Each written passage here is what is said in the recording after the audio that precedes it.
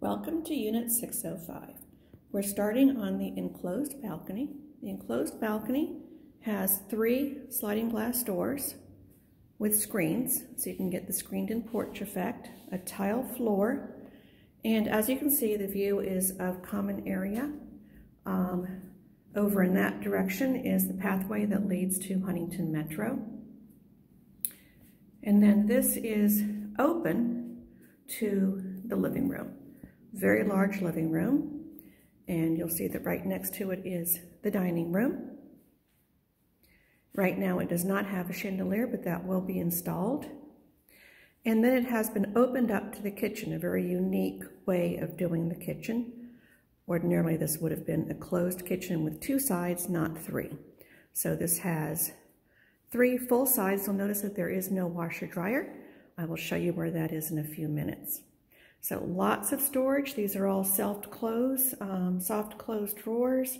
We have lots of the pull-outs. Any place you don't have a drawer, you have the pull-out shelves instead.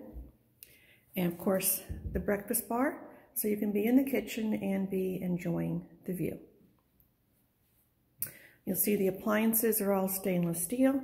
You've got smooth top surface here, built-in microwave, and the French doors for the refrigerator. It does have the handy corner cabinet that slides out. And for the trash, you have the regular trash and the recycling. Recycling is on the B3 level of the garage. Very importantly, in Montebello condos, we do have under cabinet lighting, and that is very handy. As we come back through the hallway to the foyer, you'll see there's a closet here, and this is where the washer and dryer have been installed. So they're in their own closet with shelving, room here to put the vacuum cleaner and brooms. So they are out of the kitchen. Then we're back to the foyer, quite large. Right next to the foyer is the coat closet and it does have shelving in the back of it, so it's also your extra pantry or utility closet. Coming down the hallway, we go into the second bedroom. It also has the blinds, as the dining room did as well. And then it has a regular sized closet. Directly across from it is the full bath. And the full bath does have the two medicine cabinets, a standard in Montebello, and it has a tub, which you get in this unit because this is the larger of the two bedrooms and it does have safety bars. As you come into the master bedroom, you'll see that we have the separate, separate vanity and then the bathroom with the uh, tub. The G model has two walk-in closets. So here is one. You've got hanging on one side, hanging on two other sides.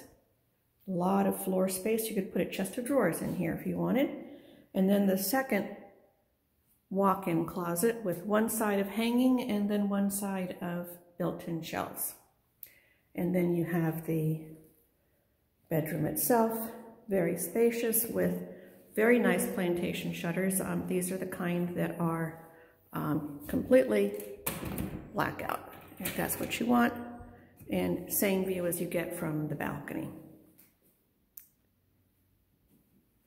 Now we're going back towards the foyer.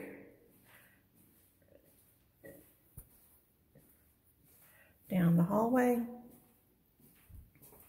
For one last view of the living room, headed out to that balcony. Hope you become a neighbor in Montebello. Bye-bye.